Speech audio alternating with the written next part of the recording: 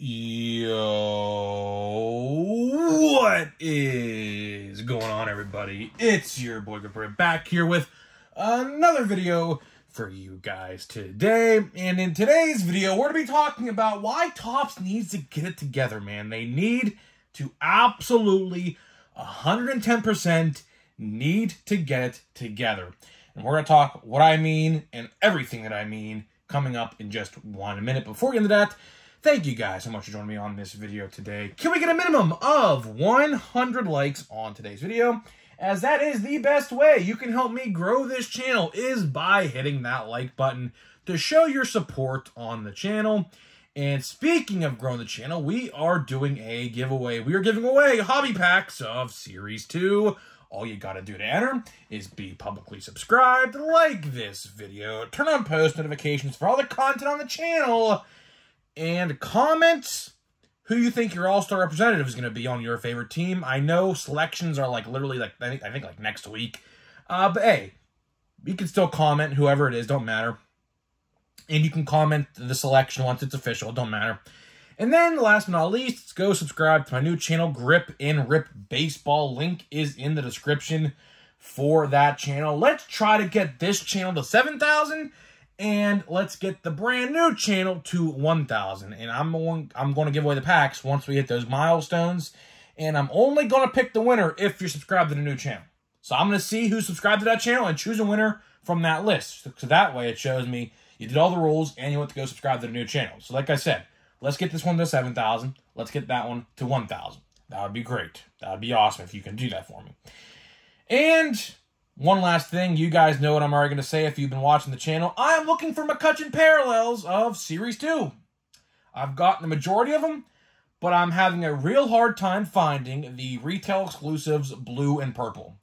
For whatever reason, eBay, there's been literally one of each. The purple looked all tore up, literally all chipped and everything looked terrible, so I didn't even attempt to buy it. The foil looked like bad, like it was all chipped and everything looked terrible. Um, but I'm having a hard time finding them. I think they're out of $7.99 and $9.99. So they should be easy to find. You know, I just got the red and the orange this week. So, and it's funny because those are out of $1.99 and $2.99. So, like, I don't know. I'm having a hard time finding the Kutch purple and, and blue. So if you guys know where I can find them or have them yourself, you want to sell them, I will gladly buy them off you. Just, I just want to get that out there because it's been a stretch, man. It's it's been a struggle. You know, I've never thought completing a rainbow or well, attempting to complete one would be as difficult as it has been. Um, you know, for Kutch, I really didn't think like his cards are like very valuable. I honestly did not expect that. Like some rookie cards of some good rookie names are selling cheaper than what McCutchen's parallels are selling for, which is very hard to believe. I it's it's very very hard to believe. But I guess, hey, man when Kutch is back in the Burgh, I mean, everyone's going to want his cards in parallels. So, I mean, it is what it is, I guess. I'm not the only person in the sea or the fish in the sea trying to complete the rainbow. The one of one is currently still on bid. It's like $500. Um, yeah, if you look at the guy's bid history, it's it's shill bidding. If you guys don't know what shill bidding is, I guess a little bit of a lesson here. It's when the seller makes an alternate account and boosts up the bid to make more profit it is what it is. Uh, the card's literally just going to go back to the seller because he's the one has it four hundred dollars. It's ridiculous. It's it's so bad. You look at the purchase history or the bid history. There was a bid that jumped up sixty dollars, like which is this makes no sense because if you're bidding, you want to go in little increments, not sixty dollars. It's ridiculous. So yeah, a little little fishy there on that end. So not going to get the one of one, unfortunately. But hey, the printing plate I think is still in play. I think there's printing plates I think you can get. So Maybe it's not out of play. Maybe it's not. Who knows? I just don't know. So thank you guys so much for helping me with that because there are there are people out there who are actively helping me. And a subscriber actually hooked me up with the advanced stats. So I got that from a subscriber. So thank you guys for helping me. And let's get into the video now. Let's get into the video and talk about why Topps just needs to get together, man. I, there, there is no other way to put it, you know the last 16, 15 months, however long it's been since Fanatics officially acquired Topps, you know, they, they acquired them, in, I think, in December of 2021, but you really didn't get to see it until February of 2022 once, you know, the official first release of the 2022 season actually came out in Series 1 that year in February of 2022. So, you know, it's been about a year and a half, I would say. Uh, a little, probably a little bit less. Uh, but needless to say, you know, it's been a very rough stretch for Topps and Fanatics. It has not been easy. It has not been easy in the slightest regarding what they have been doing, the bad changes they have made countless times over the last 14, 15 months. It's it's a shit show. That's the best way I can describe it. It's a shit show, right? And with yesterday's latest controversy with the fake autograph, if you guys don't know what I'm referring to, there was a fake autograph found of the I Love Lucy star herself, Lucille Ball. And of course, she's not on this earth no more. She's long gone. And her fake autograph, which was a cut autograph, of course, was found in Heritage, in, in this year's Heritage. And it's a secretarial autograph, meaning it's just a stamp. And why Topps didn't find the need to authenticate it or, or whatever happened there, I don't know. It's inexcusable. It shouldn't happen. We're in a day and age in 2023 where you have the most technology ever in the world and that's still happening. It is very embarrassing.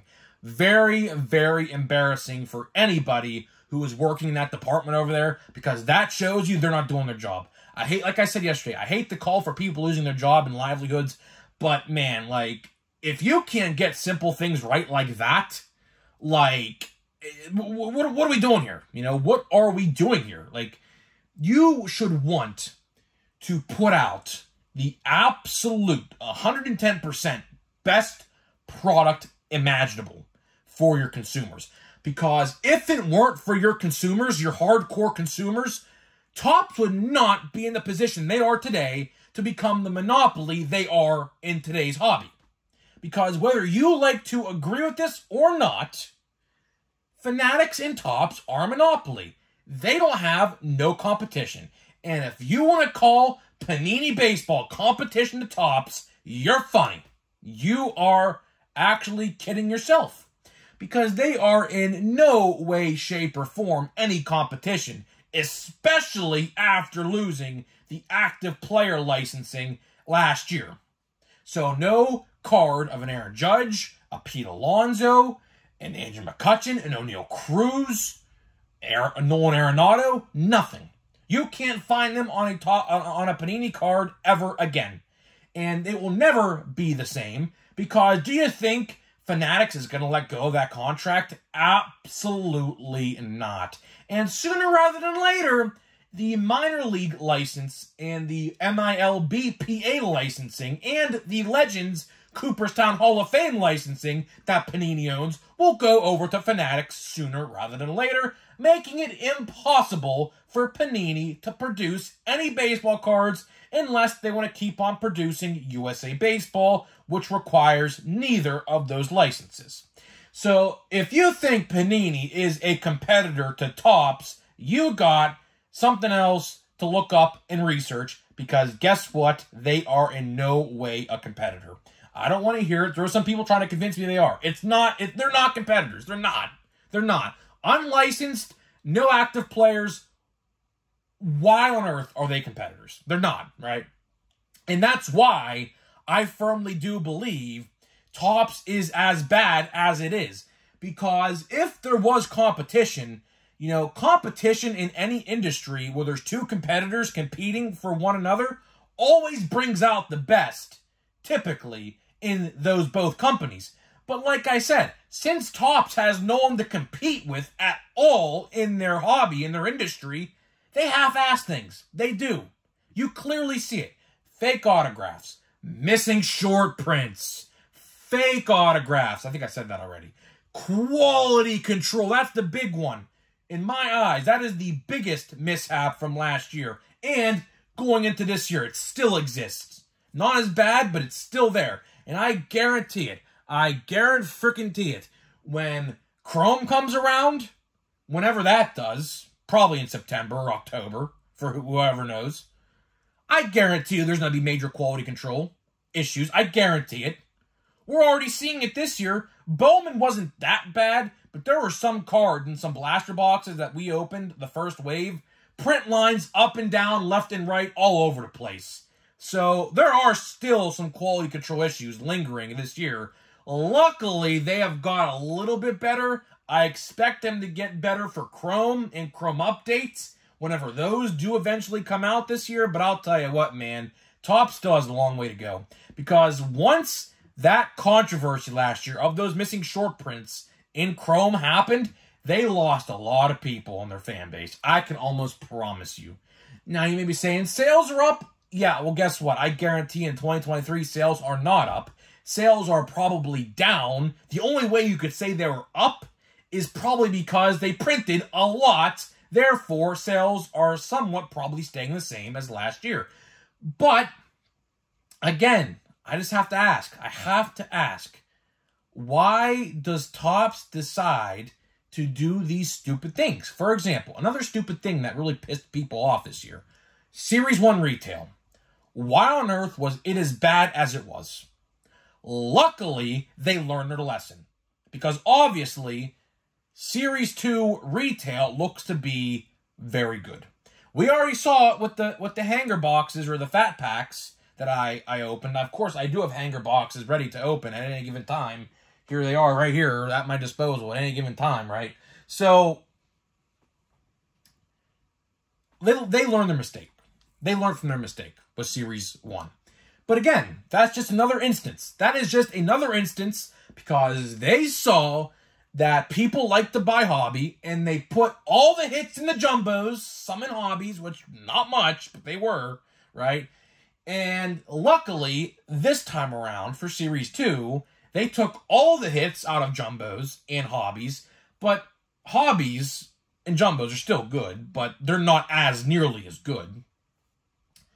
And they put them in the retail, which, if you like to not spend a lot of money, that's good. But needless to say, these last 16 months for Topps have been nothing but hell for them and the consumers. Nothing but hell, literally.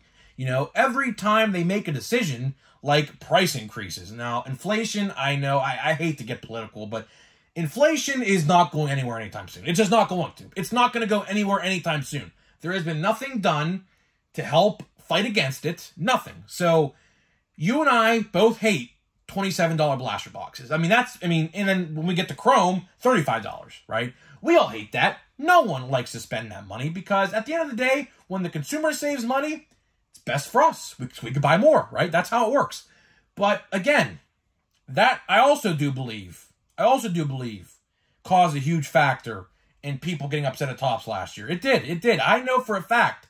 Last year, if you guys remember this, if you guys were collecting Series 1 last year, blaster boxes of Series 1 last year were $20. They were. And I bought a lot of it. And then I believe the first set that price increased was, I believe, Heritage, 2022 Topps Heritage, which I did not buy a lot of at all. And then Bowman came out last year and increased the price again.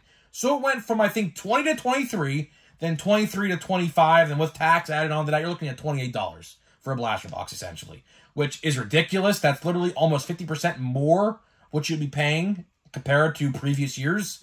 Um, I don't know how we get back to those $20 blaster boxes, but I'll tell you one thing. If Topps ever found a way to go back to $20 uh, blaster boxes, $5 fat packs or value packs, or whatever you want to call them, and $10 hanger boxes, it would be a way better hobby. And hobby prices, surprisingly, almost stayed the same. You know, blaster boxes, or I shouldn't say blaster boxes, but hobby boxes of like flagship, like I believe used to be like 85. So it's only like like a $10 ish increase, if that, which I'm actually genuinely surprised that's what it is. It could have been a lot more.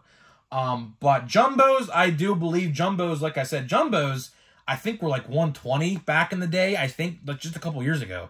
I'm talking like 2019, like 20, like early 2020, you know. Um, but of course, in Series 2, they're 200 My hobby store is literally selling them for $200. Series 1, they're selling jumbos for 140 $60 increase. Ridiculous.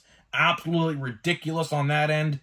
But I'll tell you one thing, man. Topps has to get it together. The title of this video, Topps has to get it together. Or maybe something like that. I don't know. I don't even know what I'm to title this video, but it's to be something along the lines of that. I don't know. All these mistakes, you know, just imagine. I made this analogy before Story time with Grip n Rip. Imagine I'm on the top of a very steep hill. Close your eyes and just imagine this. I build a snowball, and with really tight packing snow, I I I get a snowball and I start to roll it down that hill. Okay. Imagine the hill is a timeline. All right. So the first stop the snowball makes is the price increases of 2022. The snowball gets bigger as it rolls down the hill.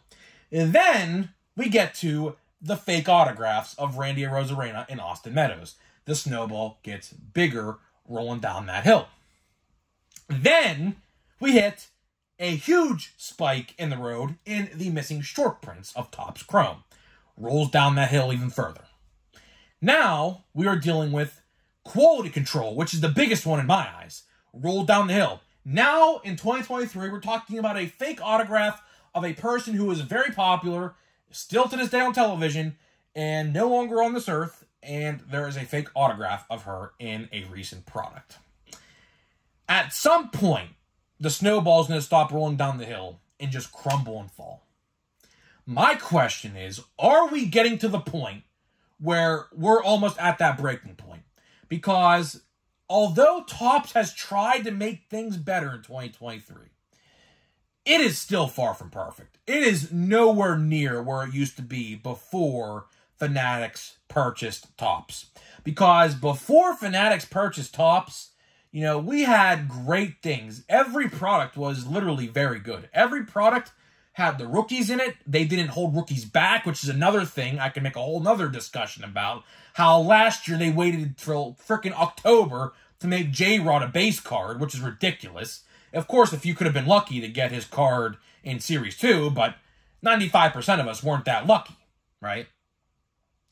And it's just ridiculous, man. It really, really is ridiculous. Like, although they're not perfect, Topps is not perfect at all, right? They're not perfect at all. Are they getting better? Sort of. I'm not going to say they're great because they're, listen, if you guys collected before the Fanatics era started, you guys know what I'm talking about. On time releases, multiple sets in the summer, multiple sets in the summer, low priced, rookies, as early as Series 2 were in sets. Luckily, they fixed that this year. Luckily. And things like that.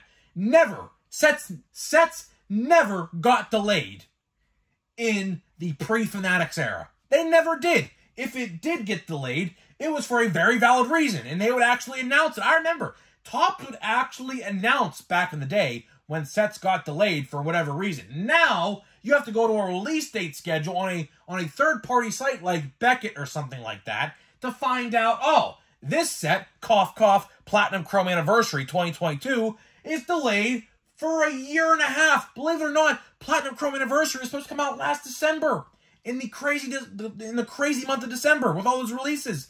Thank God it didn't actually because that was just too hectic. But still, my point still stands. Why are we waiting until the end of next month? And that's not to say it couldn't get delayed again. That set could absolutely 110% get delayed yet again before July 27th. That's the release date as it stands right now. Now, if that happens, we'll have to wait and see as it gets closer to that date.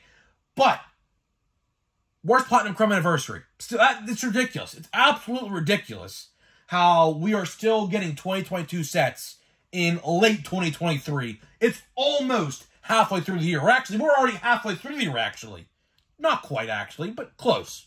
Very close to halfway through the year. And we are still worrying about a set that should have came out last December. It's unbelievable. It's unbelievable. You know, if Topps was Topps and didn't have Fanatics speaking in their one ear, right? This company would be a lot different. This company would absolutely 110%. I've I said that a lot this video, 110%. Someone should count how many times I said that because it was quite a bit. Um, this company would be a lot better off. You know, when I, I said it back then, a year and a half ago, and I'll say it again right now, a year and a half after the purchase. Fanatics purchasing Topps was one of the worst things that could have happened for the consumer. Because now all they care about is money and greed, In the old Topps, before Fanatics cared about the customer and put them first. And now that is not happening. That is not happening. Not at all.